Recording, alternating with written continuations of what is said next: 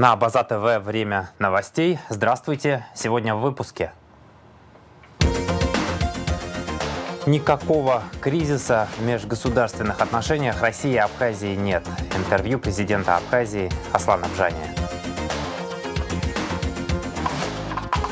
Адгур Ардзенба пригласил президента Аслана Бжания на прямой эфир. Такое заявление руководитель Абхазского народного движения сделал в ходе пресс-конференции в Сухуме. Осенняя межень и длительная засуха. О главных причинах пересыхания реки Келасур рассказал директор Института экологии. Никакого кризиса в межгосударственных отношениях России и Абхазии нет и не будет, заявил в интервью абхазскому телевидению президент Аслан Джани. Никакого кризиса в межгосударственных отношениях нет и не будет. Есть обязательства сторон, которые проистекают из наших договоренностей. Обязательства, взятые на себя, их необходимо выполнить.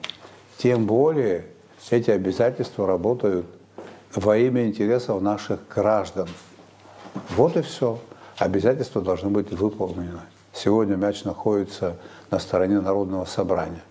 Я уверен в том, что в Народном собрании большинство депутатов ответственные люди. И в этом вопросе они смогут разобраться правильным образом. Я в этом уверен.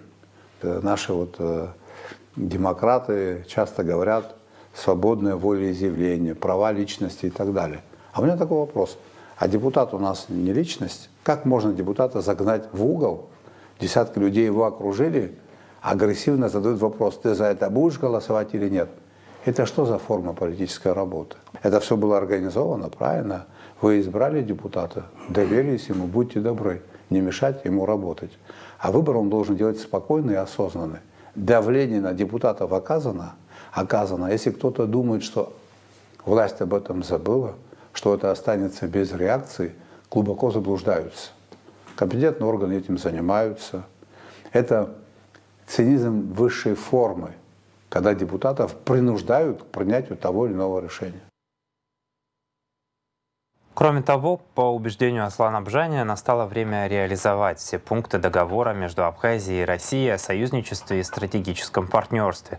Глава государства отметил, что документ, подписанный в 2014 году, соответствует интересам Абхазии и России. Полную версию интервью президента Аслана Бжания смотрите в нашем эфире после выпуска новостей. Адгур Ардзенба приглашает президента Аслана Бжания на прямой эфир. Такое заявление руководитель Абхазского народного движения сделал в ходе пресс-конференции, посвященной вышедшему накануне интервью Аслана Бжания абхазскому телевидению. Он сказал в интервью, что готов обсудить эти вопросы в любом формате, в любой аудитории. Пользуясь случаем, хочу пригласить его в эфир абхазского телевидения только в прямой эфир, чтобы без суфлера и заготовленных вопросов мы могли подискутировать цитировать, отметил Арценба. Суть из вчерашнего выступления он касался и э, памяти Сергея Васильевича Багапш.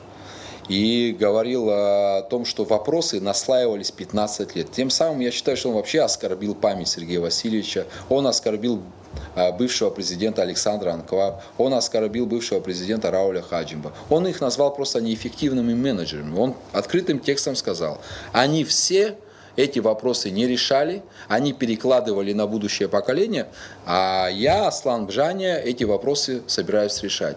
Вот что он вчера пытался нам сказать. Но и Сергей Васильевич Багаш, Царство его небесное, и Александр Анкваб, и Рауль Джункович Хаджимба эти вопросы обсуждали и решали в интересах абхазского народа максимально стараясь защитить абхазский народ. Абхазский народ выбирает президента для того, чтобы в первую очередь он его защищал. Надо любить свой народ. Надо верить в своих людей. Даже если кто-то ошибается, никогда нельзя публично выступать и давать оценку своим согражданам, а тем более на российских федеральных каналах. Если даже вам задают такие вопросы, вы должны отвечать. У нас есть разные мнения в Абхазии. Но в целом мы были, есть и будем на стороне Российской Федерации. Никаких антироссийских настроений в Абхазии нет.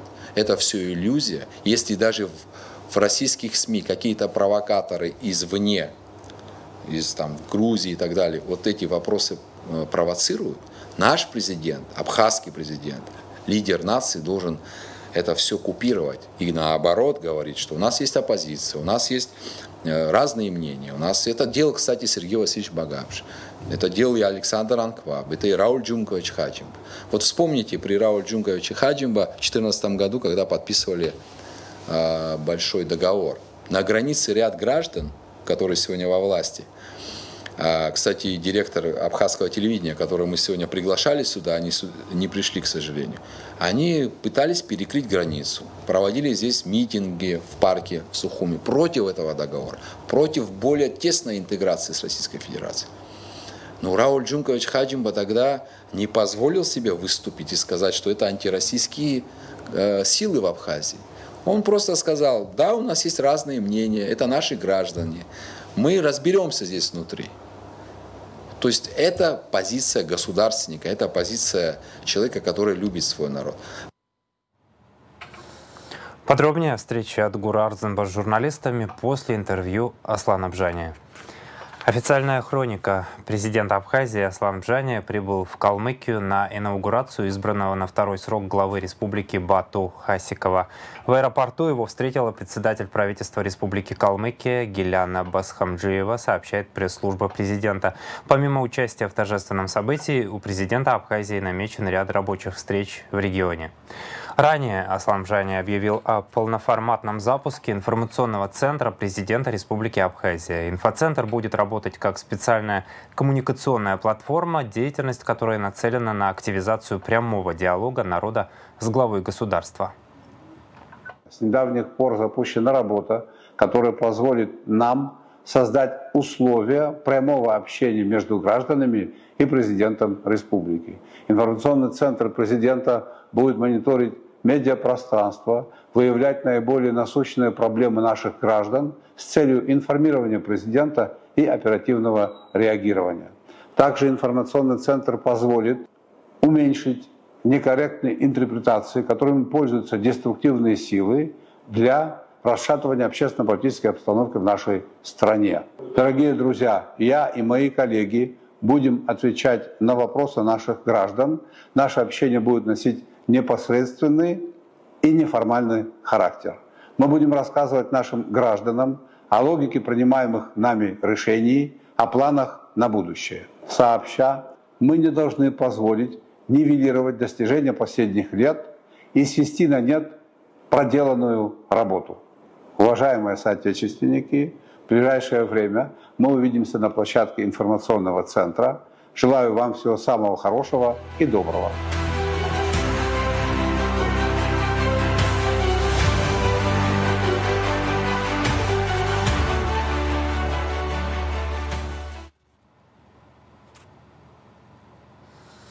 Собственные доходы бюджета Абхазии за три года с 2020 по 2023 выросли в два раза с 4,8 миллиарда до 9,8 миллиарда рублей, рассказал в интервью инфоцентру президента министр финансов Владимир Делба. Консолидированные доходы бюджета составляли 4 миллиарда 800, то уже в 2023 году они составляли 9 миллиардов 800 Э, миллионов. Это рост более чем в два раза. Мы прекрасно знаем с вами, э, что источниками э, доходов государственного бюджета в основном являются налоговые доходы, поступления таможенных платежей и отдельная часть других доходов, которые у нас поступают от других администраторов, в частности Министерства внутренних дел, Государственный комитет по приватизации. Но, разумеется, большую часть доходов формируют это налоговые поступления. Здесь тоже, наверное, важно отметить, я часто говорю о, о работе налоговых и таможенных органов, о том, а, как увеличивается администрирование, как повышается эффективность а, собираемости. Но лучше всего об этом скажут цифры. Налоговые поступления в государственный бюджет, собственный, соответственно, в 2020 году составляли 2,5 миллиардов рублей уже в 2023 году они составили 5 миллиардов 200 миллионов рублей. Это тоже значительный рост несомненно. Аналогичная ситуация происходит и с э, поступлениями от э, Государственного таможенного комитета. Если этот показатель в 2020 году составлял 1,8 миллиардов рублей, то сегодня это уже, то в 2023 году это уже 3,7 миллиардов рублей. В Абхазии в последние годы складывается тенденция к реализации бюджетных инвестиций в экономику. Также заявил в интервью инфоцентру президента министр финансов Владимир Делба. Мы начинаем поворачивать бюджетные средства в те отрасли, которые являются приоритетными, отметил Делба. Он сообщил, что с 2020 по 2023 годы, помимо действующих обязательств, правительством были взяты новые. Абхазия в поисках перспективы безопасного и стабильного развития. Так звучит тема круглого стола, который в четверг провел Центр социально-экономических исследований в информационном центре президента Республики Абхазия. К участию были приглашены ученые, представители администрации президента, Совета безопасности, парламента республики, СМИ и общественности. Смотрите специальный репортаж Леонора Гилаян в нашем вечернем эфире. Спикер Народного собрания парламента Республики Абхазия Лаша Шуба поздравил председателя парламента Республики Южная Осетия Алана Маргеева с Днем Республики Южная Осетия. В поздравлении, в частности, говорится, Исторические связи между нашими республиками основаны на взаимном уважении, доверии и способствуют дружественному межпарламентскому диалогу. Желаем вам, уважаемый Алан Таймуразович и депутатам парламента Республики Южная Осетия, успехов в законодательной деятельности на благо народа.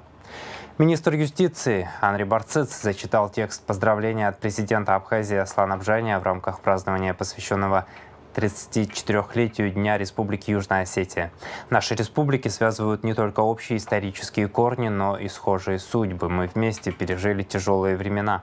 В Абхазии высоко ценят крепкие братские отношения между нашими странами, основанные на взаимной поддержке и доверии. Убежден, что они будут только крепнуть и развиваться, отмечается в частности в поздравительном адресе президента.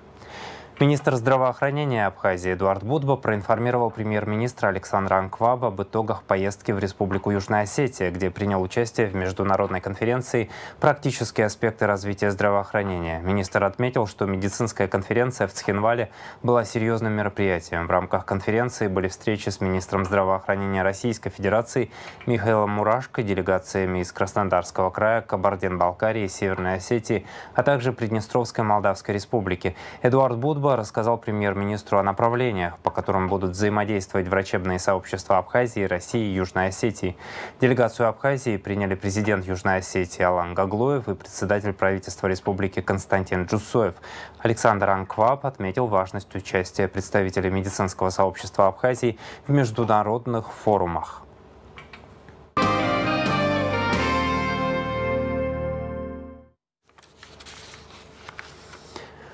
Столичном музее боевой славы имени Владислава Арзамба в преддверии 31-й годовщины победы в Отечественной войне народа Абхазии прошло большое награждение женщин, инвалидов войны юбилейными медалями победы в Отечественной войне. Поздравил женщин-ветеранов лично министр обороны Владимир Анова. Сегодняшний день приобретает особое значение.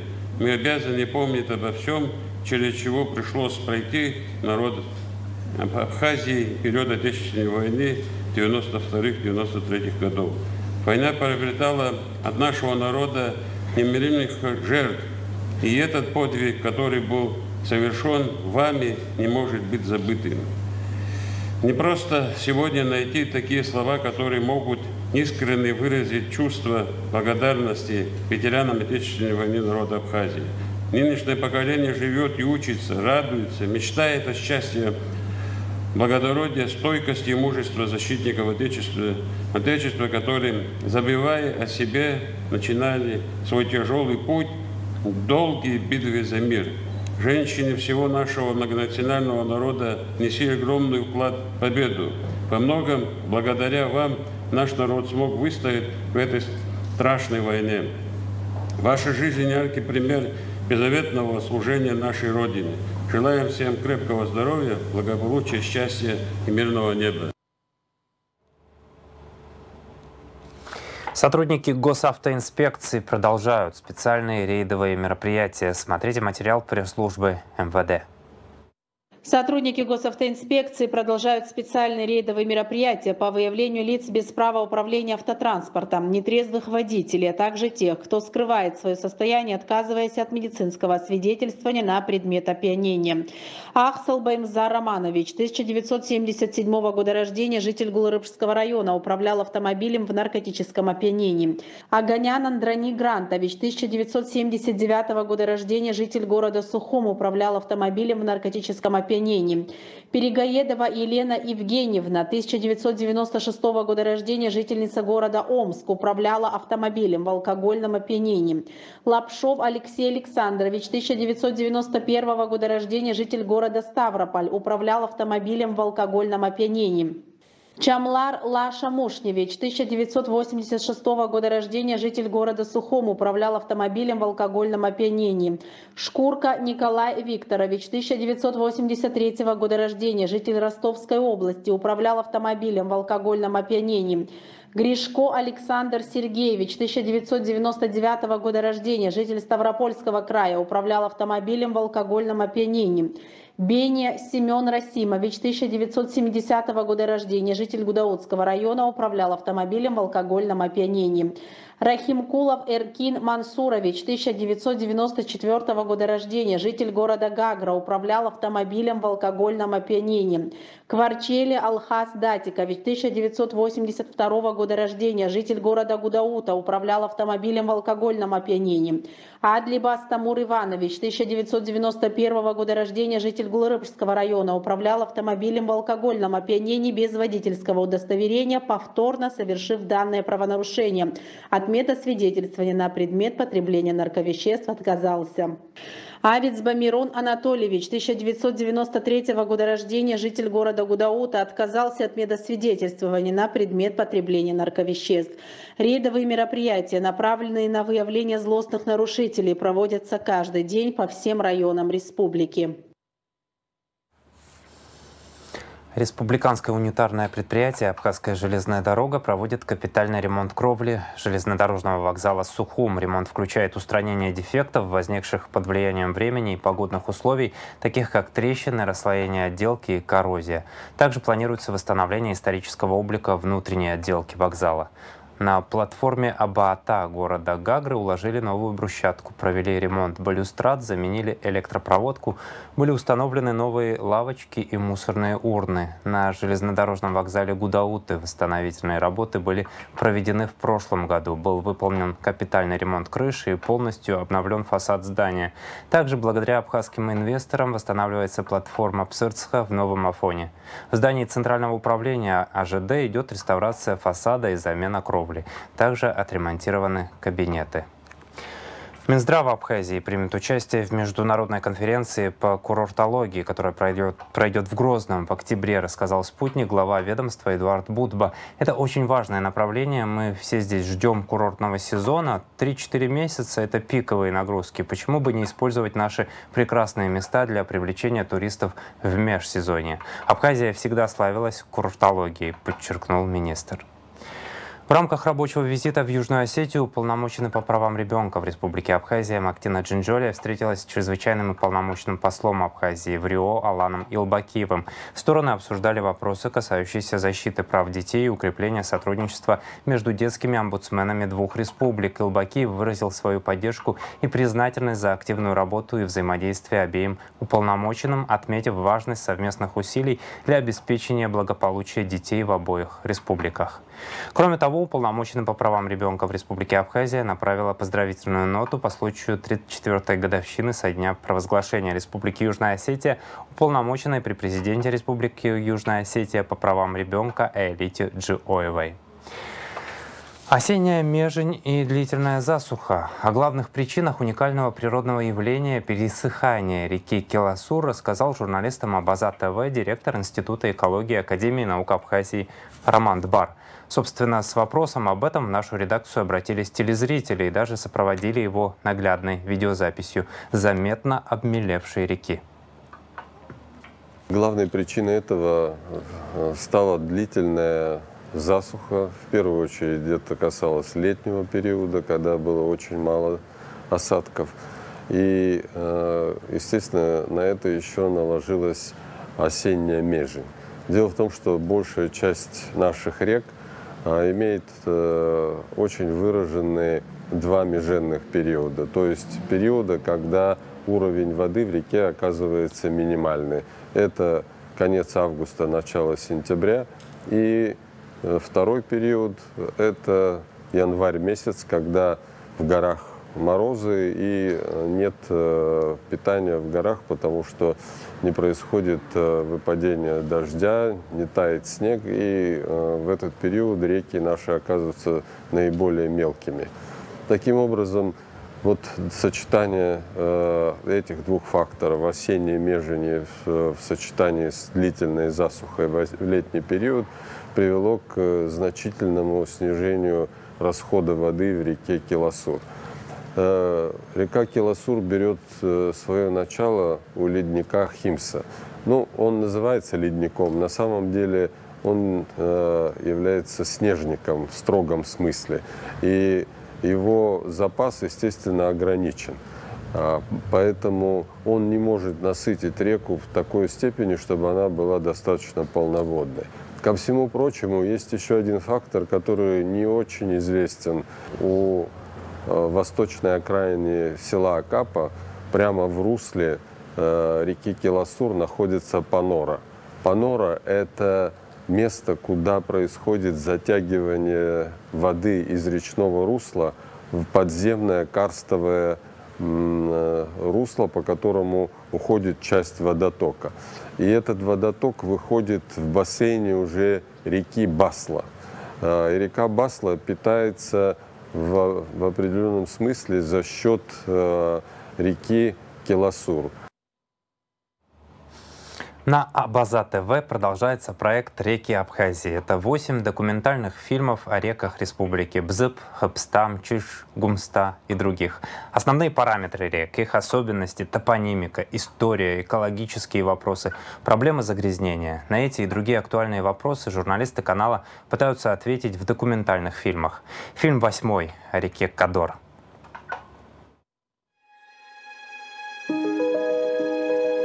горах на северо-востоке Абхазии берет свое начало река Кодор. Река Кадор – самая мощная река Абхазии. Ее протяженность от истока до устья 84 километра. Норов у нее достаточно такой серьезный. Шутить с ней, там, переходить в брод, где попало, и так, и так далее, и так далее, не стоит. Ущелье, да, и Кадорское, оно являлось своеобразной колыбелью нашей цивилизации. Уже к концу VIII века складывается ранее феодальная абхазская народность, то есть абхазское независимое царство. Архитекторы Апсилов учились стройке у римлян и строили так, как сейчас не под силу. Стены крепости Цибилиум тогда достигали 12 метров в высоту. И это при примитивных инструментах в древности при маленьком населении и в отсутствии рабского труда. Кадор, ну, для меня это уже часть жизни. Тысячу раз я сплавлялся по этой реке, и каждый раз она разная. Кадор – папа.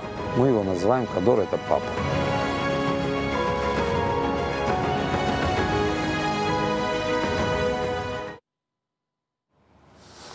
Фильм «Восьмой» из цикла «Реки Абхазии» «Кадор». Смотрите в нашем вечернем эфире. Уважаемые телезрители, 21 сентября в вечернем эфире Абаза ТВ смотрите сюжет из серии «Культурное многообразие. Потенциал для развития», подготовленный Розитой Герман в рамках проекта фонда «Асарки». Героиня сюжета – бизнес-леди Лусине Нерсисян. Вместе с сестрой она возглавляет крупную компанию «Домино», успешно ее развивает на протяжении ряда лет, попутно создавая рабочие десятки десятки рабочих мест. Можно сказать, что это этап э, был как раз-таки активного расширения. Вот эти два-три года последние э, мы открывали новые магазины, э, расширяли, очень активно заключали новые договоры, искали новых партнеров, самых таких интересных для нас производителей.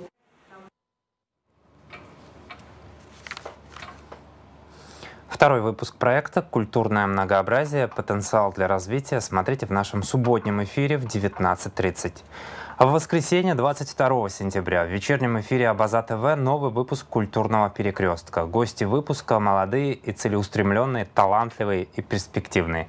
Барас Куджба, выпускник Московской государственной консерватории имени Чайковского, лауреат международных конкурсов, художественный руководитель Международного музыкального фестиваля. Елизавета Хашба, выпускница Высшей школы экономики, направления медиакоммуникации. Авторы и ведущие проекта Батал Кубахи и Эльвира Арсалия. Проект реализован при поддержке Абхазского общественного фонда развития «Амшра».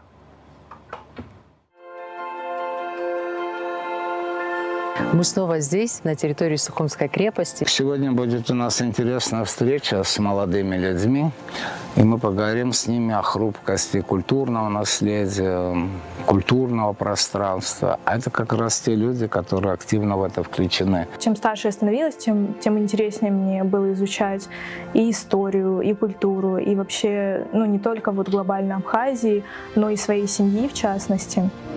Նրանցից մի քանիսն արդեն դադարել են վարվել։ уятацәра сара сарҭәуеит, аргәаара сацәшәоит.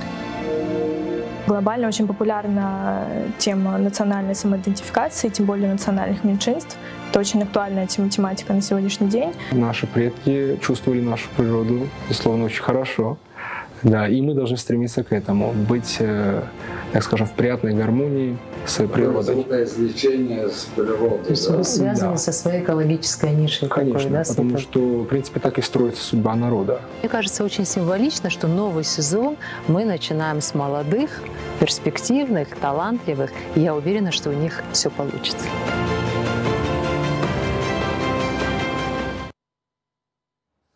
И сейчас о погоде.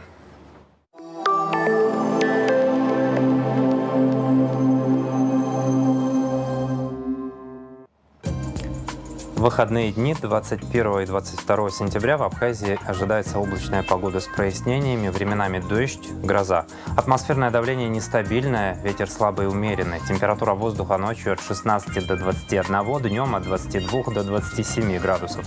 Температура морской воды 27 градусов, волнение морской воды умеренное и значительное, относительная влажность воздуха от 60 до 90 процентов.